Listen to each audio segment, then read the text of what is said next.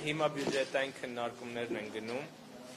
կրթության եւ գիտության նախարարությունը նման հայտեր ներկայացրել է, բայց մենք նաեւ պետք է հաշվի առնենք ֆինանսական հնարավորությունները,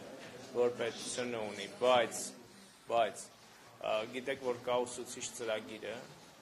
որը ենթադրում է ուսուցիչների վերապատրաստում եւ վերապատրաստման արդյունքում աշխատավարձերի բարձրացում։ Այսինքն մենք ուսուցչի